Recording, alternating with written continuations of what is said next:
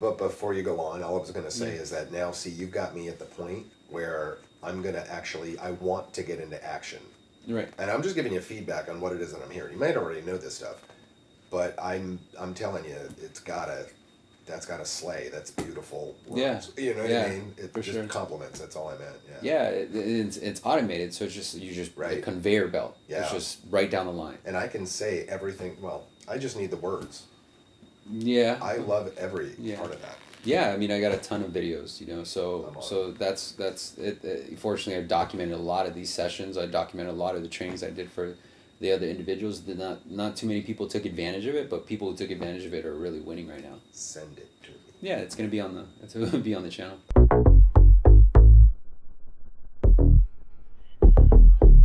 Kind of the strategy of some is to wear them out, right?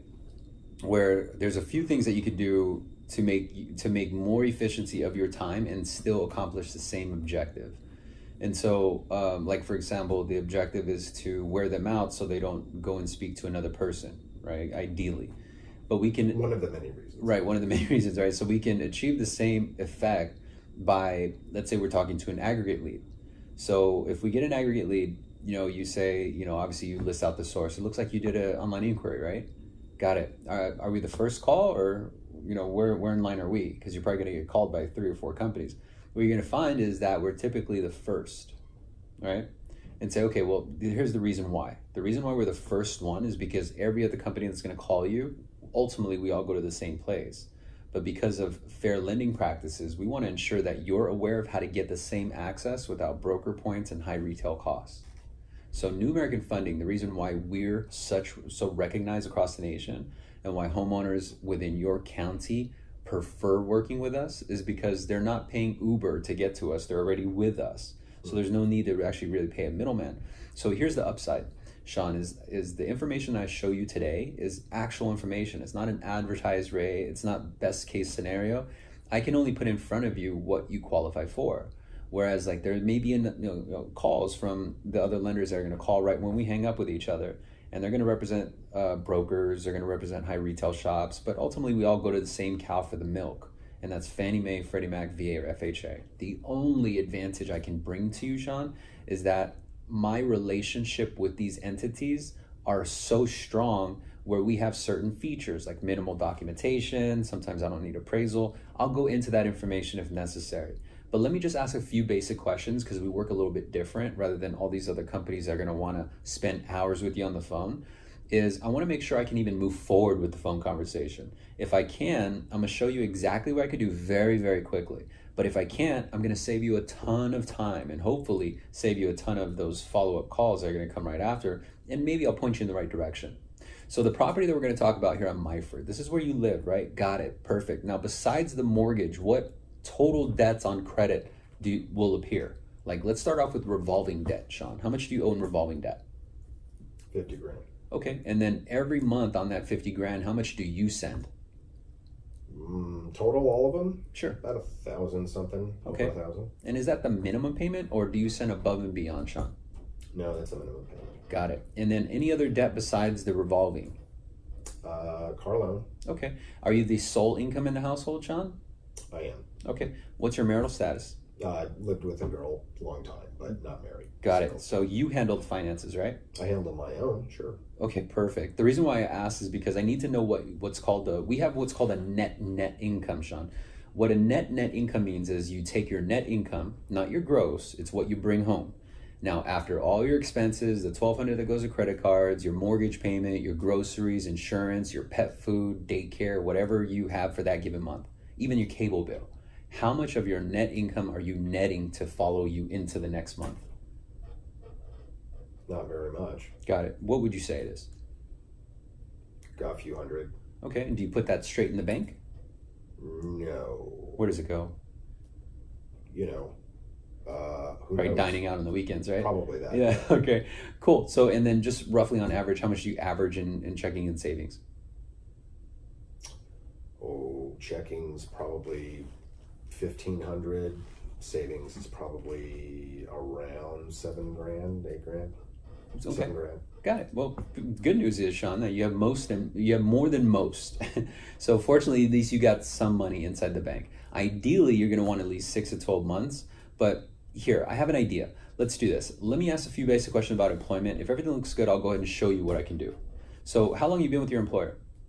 Uh, three years, Okay, and just roughly, how much do you make gross a month? eighty grand a year. 80 grand per year got it and then um and you know and then you start like looking at the uh the profile like as far as age goes like um like you the property that you're in here uh, the property that you're in now do you intend to retire here sean Mhm. Yes, okay when do you when abouts do you plan to retire fifteen years. in about 15 okay good so uh, looks like you and i'm looking at property profile so it looks like the last refinance you did was bat was with chase about two years ago Sounds right. okay do, what rate did you did you lock in Uh, it's like a five year. It's only fixed for five years at like three and a quarter, but Oh, it okay. made me nervous. I, I kind of want a thirty year fix. Yeah, especially with the way the market's moving up, the last thing you want is is an adjustable rate. Mm. Fortunately, we have programs where you don't necessarily need to go backwards. So if it's important for you to retire in 15 years, I can show you how not to go back to a 30 year term and still hopefully create some savings for you. So here, um, if you could rate the the condition of your property on a scale of one through 10, what would you rate it? Um, I don't know, eight. Okay, what do you think you could do to the home to make it a 10? Uh, I don't know. Probably repaint, do some outside molding to it to give it kind of a craftsman look. I was thinking about doing that. So, Okay. yeah, Oh, so just some minor stuff and you got a perfect 10. yeah cosmetics, sure. Okay, cool. I was, so, I was wondering if it's gonna be like a kitchen, a master bathroom, new roof, anything like that. So fortunately, it's just cosmetic stuff. And so it sounds like a couple grand, and then you got a perfect ten. You intend to live here through your retirement, correct? I do.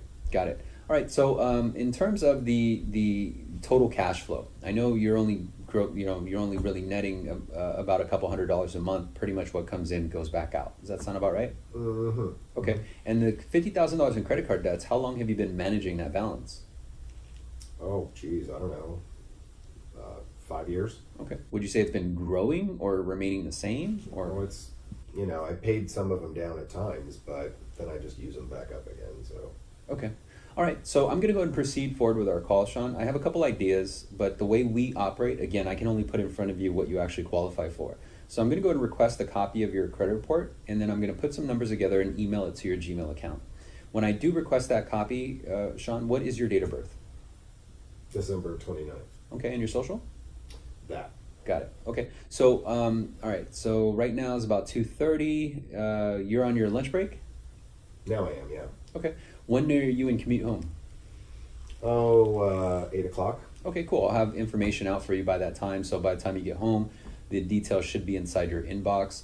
Um, when is your next break by chance? Just in case I come across any hiccups in sending out the disclosures. Uh, hard to say. Um, you know, in and out of a couple meetings a day. Okay. Uh, If- yeah, you have my cell though, right? I do. I'm actually sending you a consent right now. If I can, can uh, can you please consent so I can communicate with you by text? If I have any questions that hold me back from sending out the details, I'll just shoot you over a quick text. Is that okay? yeah, that's fine. Okay, cool. And then if I send you a quick text and give you a heads up, like maybe we could schedule a 10, 15 minute phone call in case I have any questions at work. That's fine. Got it. Okay, I'll go ahead and get to work right now, and then um, if no issues or you know if there's nothing holding me back with sending you the disclosures, it'll be waiting in your inbox by the time you get home. If anything is holding me up, I'll be sure to shoot you over a text, and maybe you can step outside. We'll we'll share a few minutes. Okay. Got it. All right, bye.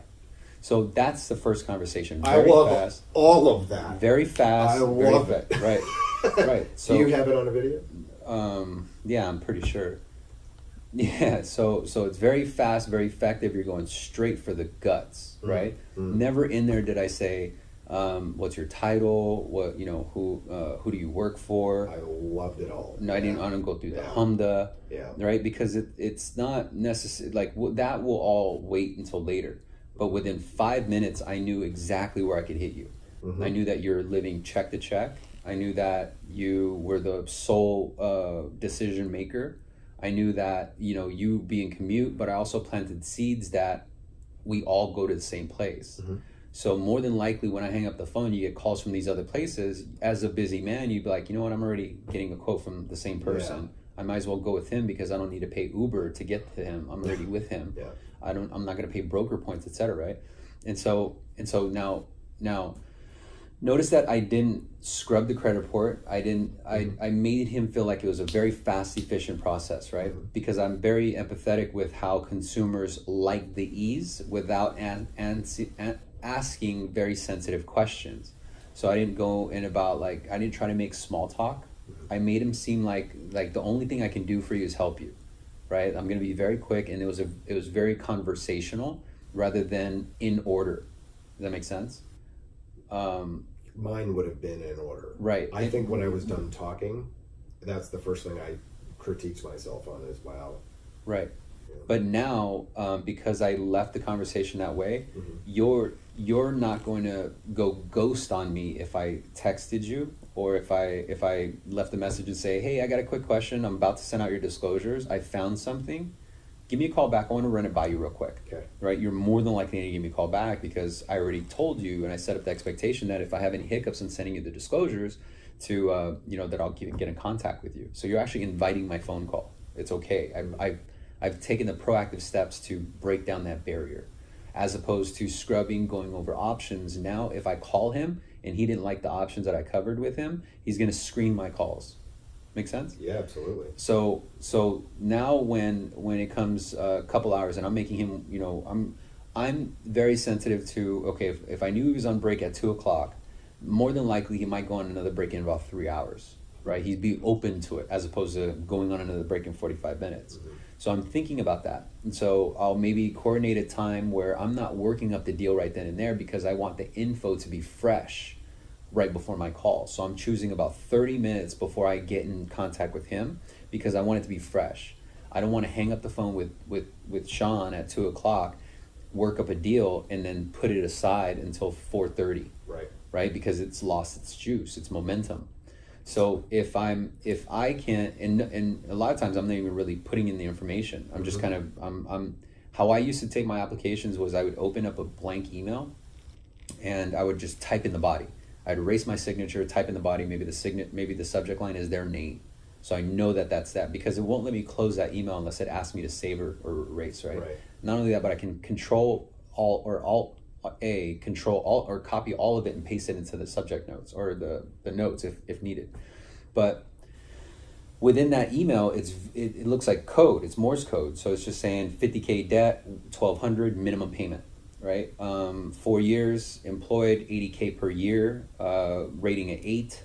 It needs two grand to make it a perfect 10. So I'm already building the leverage for how to sell it. That's kind of the upside. This is the icing on the cake. Hey Sean, you remember you uh, you said you had some cosmetic work. Fortunately, I'm gonna get you an escrow refund. It's gonna be about three grand. There goes all your cosmetic work. Now you got yourself a perfect ten. That's just the icing. So they're like, oh fuck yeah, let's do it. How do we do it? But now the question is, okay, well, how do we open up? So I want to go over that with you because you now got an understanding of how the first call goes, right? Sure. So so tell me how the second call goes now. I know it's a little bit new to you because you're usually doing it all on the first. But let's say you didn't scrub the credit report with me on the 1st Mhm. and and we set up a call for. How do you set up the appointment, by the way? Do you just say well, when are you going to be home? I, I, I kind of put it in there, I, yeah, just to be a little bit uh, giving, eh, you know, 50 50 in the, in the conversation or communication aspect of Sure. it. I, I give them a little leeway, to, you know, to say, well, I need you tonight. So uh, if you're going home to change and then you're going back out again, can we talk when you're on your way back out again? You know, Okay. I do try to pin them down, but Okay. long story short, um, I, I, I kind of I only take control if they do the I don't know. If they give me a time, there's my answer. Does that make sense? Yeah, yeah, for sure. I mean, I would only recommend you make the time. yeah. So you control it. Okay. You're going to control it based on their availability. You find out their availability, and then you kind of corner them in. So you actually make the time. So I kind of do that. Right, okay. but I liked how I. yeah. I like so let's say that you were married and there's another homemaker, right? Mhm. I, I would have known based on number one, the question of saying, How much do you send? And then they would have said, uh, We send. That, that there's a married couple in there, right? Another way is, Are you the sole income in the house? No, me and my wife works. Got it. I'm, I'm going to include the wife. Or uh, what's your marital status? I'm married. Got it. So you're the one that handles your finances? Yeah, I do. Remember you said that. So that's one reason why I asked that question is because well, my wife and I usually do it. Got it. So so now I, I'm keeping that in mind. So when I set up the appointment, I'm telling them and say, hey, um, go ahead and give me consent for the text so I can communicate with you by text. I don't have to Right. call you. Right. But more importantly, before I release the disclosures, so you don't have to wait for it to come in the mail, I'm gonna I'm gonna need your consent to send it by email. So it's all digital. Mm-hmm. It's gonna be online, and it's a safe it's a safe online portal, so you don't have to worry about your information being you know shared with anyone. Um, but it's our own secure portal, and uh, and I'm gonna need consent from the missus as well. Okay, so I'm gonna uh, I'll send over an email. All you gotta do is just give a quick consent. But um, what time do you think she'll be available to give her consent? Right, so I'm kind of dropping those seeds. So if he says, "Oh, she probably won't give," she's she, she's a homemaker. She can give consent whenever. Okay, got it. So then I know that all I need to do is capture your attention, and I can conference call the wife because she's not at work. Right. On the flip side, if it says, "Oh, my wife usually gets out at 5, okay, then I'm gonna work around to where I can fit both of you in a conference call. They don't need to be at home, right? So so so let's say because ninety percent of the time they're not at home together, uh, right? Because they're they're either one's coming home or one's they're they're both en route, and that's actually the best time you can get them because they're stuck in traffic and you have nothing but their attention, right? So um, when you when you set up the the next call, I would recommend forcing the appointment based on their availability when you're not going to have as much distraction. Never never pitch a deal when they're on a 10 minute 15 minute break um, where there's other parties involved because they're going to be rushed, right? Uh, they're going to give you the excuse like, hey, well, let me and my wife talk about it. Where in your case, I could do a 15 minute rush because you have a lot of I have a lot of leverage against you already because I know you need it, right? Mm-hmm. um, and and on top of that where if if let's say i did need to get another party in it's going to be under the premise of i just need their consent. I'm not going to pitch them. Does that make sense? Yeah, absolutely. so also when i when i give a call and the reason why it sounds like hey i got an idea i want to run it by you is because that's how the pitch opens up. So and Yeah. whereas most loan officers are trained to say um, you know hey sean this is daniel. Okay i worked on the numbers for you. I got a couple options. Grab a pen and paper. That's how majority of pitches start right? Mhm. Um, and, and and most pitches start okay well i got option number one. You got a 30 year fixed 5.25 payment is 1600 bucks and there's no closing costs involved right? To, to that effect to some degree. Yeah. and i would say that the only problem with that is is that number one is you're telling them it's an option. So if they don't like the option then they're gonna they're gonna blank out everything you say and want to know what the next option is right? More importantly you you frame the message in a way where if they don't like what you say at the beginning so option number one 5.5 i heard nothing more Yeah. past that Yeah. right? So so in comparison to an actual efficient pitch you yeah i would bro- I, I would open the conversation like like hey sean this is daniel. I was putting together the disclosures. I'm about to send it out to your gmail account right now and i found something. I, I want to run it by you kind of get your feedback real quick before i send it out. Got a minute Mm, yeah. Okay, cool. So I was going through the credit report and I noticed one of the common comments on from the credit bureaus. Credit bureaus are obviously the one who gives you a credit score. They they basically base your credit score on how well you manage your debt. Well, anyway, there's three of them, and they all had this common comment of of credit card balances to uh, max credit limit ratios too high. This is on all three of them. A lot of them also said that that uh, amount of debt load is is is excessive. And so I, I, I went into further research or, or into further review the credit report, and then I found the accounts that they're talking about. You know what, Sean? You have a Chase card. Um, I think this is part of the 50 grand you told me about. Yeah. It has a balance of 28 grand, and the high credit limit is 30. Right. You see, Sean, what I've learned is that the only way to remove this is to get that balance down to 30% or below. Because you've had this much credit card debt, your credit score is already under 680. So I have an idea and I want to run it by you because I, I, want, I think that you can position yourself to retire in the 15 years with no house payment. Now, I'm, now I got his interest, right? Sure. So um, you'd mentioned you pay about twelve hundred dollars towards these accounts, and they're just minimum payments. Fortunately, this particular option, like, uh, or this particular alternative of putting of putting your payment, basically what I did was I added your mortgage payment of two grand, and then I took in consideration the payment that you're sending to Chase, you know, Visa, Amex, or whatever, and it came out to about thirty two hundred. That's basically his mortgage plus his credit cards, right? And and what I did was I looked at it and I said, okay, how can I help you maximize the return on this transaction and also get away with not only an improved FICO, but with enough monthly savings to where you're not living check to check. With enough monthly savings to where you could build up six to 12 months of living so you don't have to rely on credit cards anymore. And so this is what I came up with. I want to run it by you. So basically, your payment from thirty two hundred dollars, I can take it down to tw- uh, I can take it down to two thousand two hundred. So it's about a thousand dollars spread. Now you're also going to get a surge of cash flow from the transaction, meaning you're going to defer payment and get an escrow refund. I did the math on that and came out to about four grand. The upside is you had mentioned that your house was an eight, but after cosmetic work it would be a ten. I think you said. So yeah. Okay, cool. So there's four grand to do your cosmetic work. Now, here's what I like about it is that it would free up a thousand dollars per month, giving you more than just a couple hundred dollars left, or in cases, some cases where you're check to check, and put you a little bit more in position to increase your 401k contribution because your employer, do they match your 401k? No.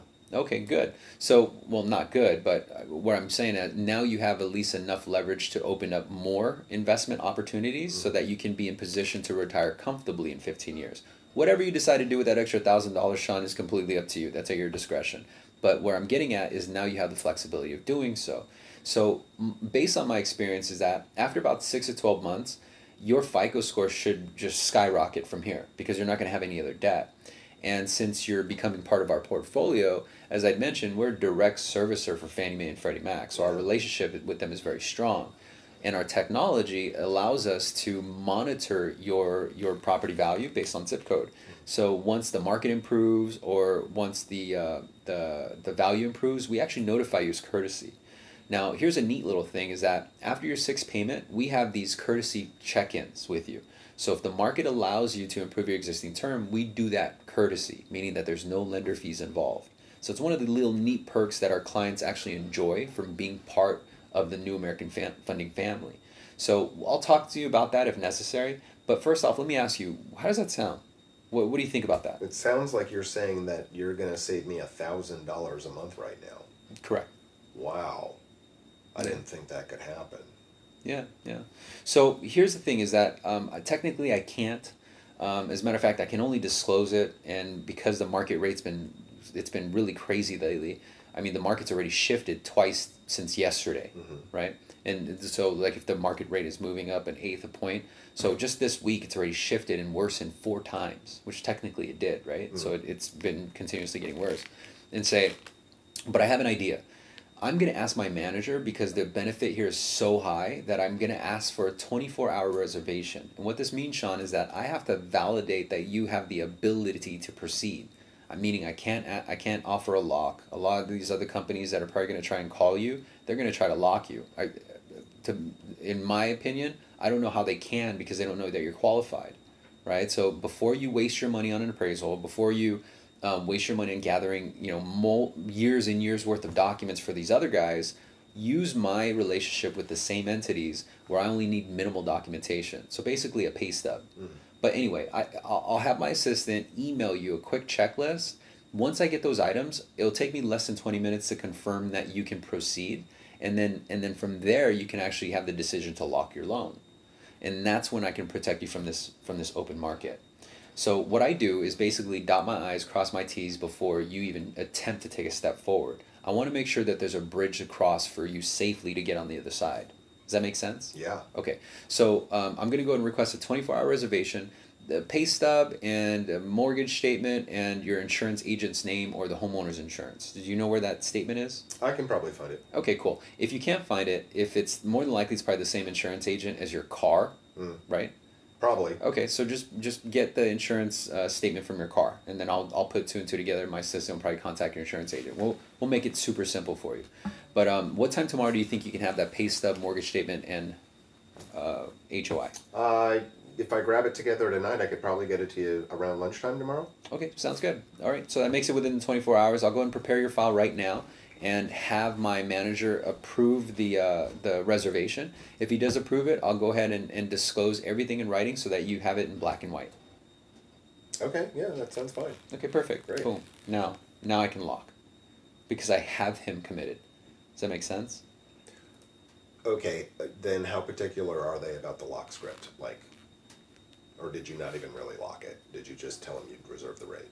Oh yeah, so I get what you're saying. Yeah, yeah. So so um, part of the actual pitch is is within that is the lock script. Okay, all right. Yeah. okay. So um, I could probably breeze through it. So I'm actually in that pitch. I I, I don't go and say okay I'm gonna record a lock script right now. But before you go on, all I was gonna say Yeah. is that now, see, you've got me at the point where I'm gonna actually, I want to get into action, Right. and I'm just giving you feedback on what it is that I'm hearing. You might already know this stuff, but I'm I'm telling you, it's gotta, that's gotta slay. That's beautiful. Yeah. You know what Yeah, I mean? It's for just sure. compliments. That's all I meant. Yeah. Yeah, it, it's it's automated, so it's just you just Right. conveyor belt. Yeah. It's just right down the line. And I can say everything. Well, I just need the words. Yeah. I love every Yeah. part of that. Yeah, I mean, I got a ton of videos, you know. So, so that's that's it. it. Fortunately, I've documented a lot of these sessions. I documented a lot of the trainings I did for the other individuals. Did not not too many people took advantage of it, but people who took advantage of it are really winning right now. Send it to me. Yeah, it's gonna be on the it's gonna be on the channel. Okay. Yeah. So um, so yeah, so when I get the peak, the emotional state, right? Like, cause, cause right at the point where I said, "What do you think about that?" Your emotional state should be at its highest. And you'd be like, "Oh yeah, sounds like a great idea." The reason why it works is because they didn't take it with with salt, right? There was no resistance. I didn't say I have a couple options. Option number one, blah blah blah. All of it was an idea, and they're more inclined to give you their attention if they don't think it's uh, dangerous, right? It's Mhm. putting them at harm, or they have they they're being pitched, and then more importantly, where you could have, let's say you could have went completely left field, right, and uh, say, you know what, Daniel, I I don't know, or to say, okay, you know what, I thought that, so this is what I'll do. I'll go ahead and disclose, and you kind of drive the conversation where it's not necessarily a turn down. You just want to kind of put feelers out there. But because I knew exactly where you were, I knew you're going to take it. I knew you got it because I I went over the the framing first, which um, if you signed up for my sales script, Mhm.